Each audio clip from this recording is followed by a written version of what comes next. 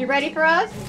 Welcome This is how I live, to Willie Gales' room. and they are my lovely flowers. It's what one might expect in a nursing home small but tidy. I know how to clean, sew, wash, A few special photos and some pictures of some friends of mine I met since I've been here. make the space feel like his own.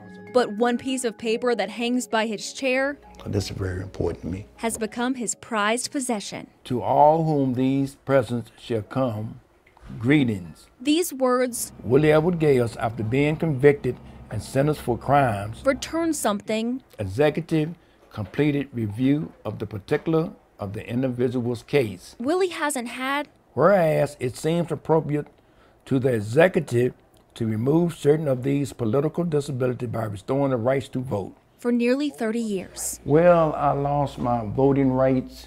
Well, I haven't been such a good guy all my life. Young, foolish, doing things young guys do. The 64 year old was convicted of his first crime in 1996. It was an ongoing thing that I just couldn't stay out of jails.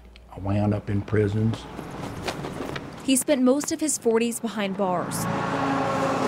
No family, no friends. I don't even want to think about it. But by 2009, the Mecklenburg County native was released from prison and returned to his job in Richmond as a builder. So I got away from all the drama and the, and the crazy mess, and I was like, man, it's time to quit. Stop. His past in the rearview mirror, but Willie was still alone. In 2017, he battled colon cancer. And I wouldn't wish that on nobody, not even my worst enemy. And a toe amputation in January 2023 landed him here, Hello. How are you? Chase City Health and Rehab. I was feeling some kind of way when I first came here. Giving up his independence, a tough pill to swallow. Don't you say nothing about my feet. That's the way I was feeling. That's the way I was thinking. But it didn't take long for Gales to recognize this place gave him something he'd been missing. It feels good to interact with uh, people again. People like Don't get jealous, man. bingo rival Ernest Robertson, The fun and thrill of the game is waiting for that last number. whose room is just a few doors down. Because I know everybody and they know me. Born and raised in this two square mile town, Robertson shares a past with Gales that isn't just fun and games. I was 42 years old and I got arrested for selling crack. The now 73 year old served a total of 18 months in jail and finally got off parole in 1999.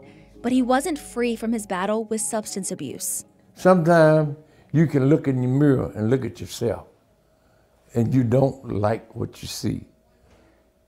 You get tired of looking at that. Foot issues last January eventually led Robertson to seek care at this facility. Oh, I was a mess. Ornery. Just didn't want to do anything. But his friendship with Gales You know, we share our story with each other, you know. You know, so that, I don't know, man. It's just that it don't stop me to crying. I, I'm easy to cry, so. and his instant bond with this woman, the nursing home's director of admissions, Melissa Price, It's like we were supposed to connect in this setting. gave Robertson hope. Well, I got a couple of ladies I call my angels because they have been here with me all the way through. At first, the nursing home's designated greeter and music man didn't want his new friends to get a glimpse at his dark past. I didn't like myself. But a conversation about November's election brought those secrets to the surface. So he shared with me that he couldn't vote and uh, he had made some choices in life, and that was the end of it. And I thought, it's not the end, it's the beginning.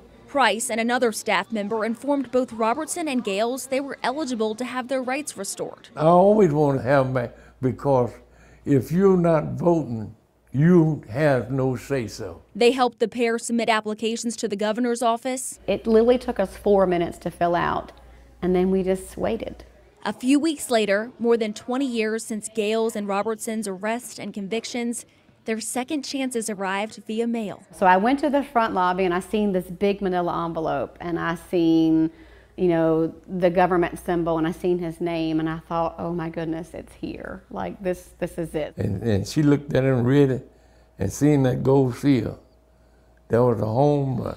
Like his buddy down the hall, Robertson has his laminated letter on display. It means a whole lot to me. A whole lot. I got a voice now. Yeah, I didn't have a voice at first, now I have a voice. While Robertson and Gales can now vote, serve on a jury, and run for public office in this land of the free, they've also found a place they're proud to call home. We are very lucky. This is my family. Yeah. The road doesn't end at Chase City Health and Rehab for these two pals. Each one of us have our journey, but our journey we're supposed to learn something from it to pass on to somebody else. because they didn't come to a nursing home to die. In fact, it's where they finally feel like they're living. I think the Lord is not through with us yet. I think the Lord has some other things He wants us to do. Oh yeah.